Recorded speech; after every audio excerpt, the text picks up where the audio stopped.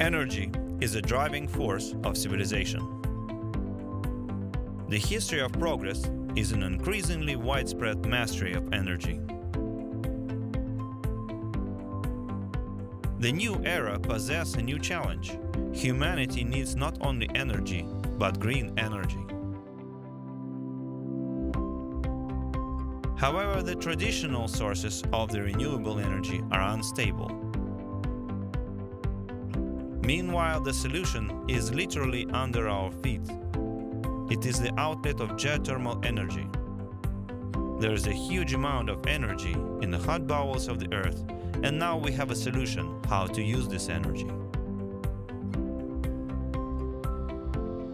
In this video, we will go into the details about the main features of the geothermal power plant.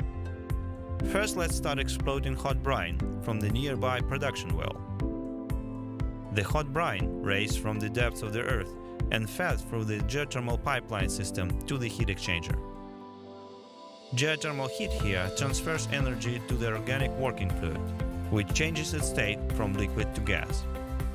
From the heat exchanger, the working fluid in vapor state enters the engine.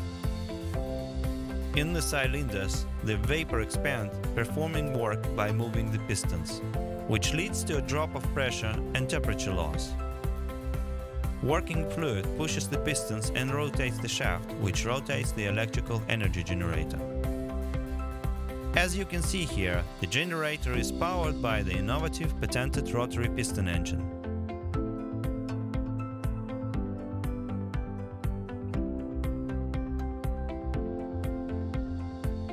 And main parts of engine are two misaligned rotors and a set of pistons radially communicating with these rotors. A special gas distribution device feeds the working fluid into the corresponding cylinder with a phase shift in accordance with the angle of the cylinder, which pushes the rotors into rotation.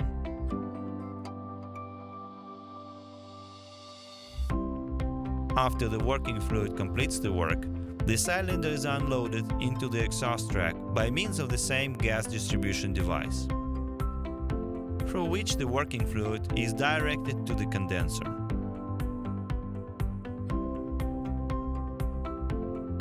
In the condenser, the working fluid loses the temperature and returns to liquid state in order to return to the primary heat exchanger. Regain heat from the geothermal waters and repeat the cycle. The cooled brine is re-injected through another well and returns to the reservoir of geothermal waters, thereby closing the cycle. In such a cycle, geothermal waters are not extracted from the bowels of the earth. It is returned to ensure renewability. This stable renewability, with a predictable and stable output, makes geothermal energy an essential foundation for the future development of green energy.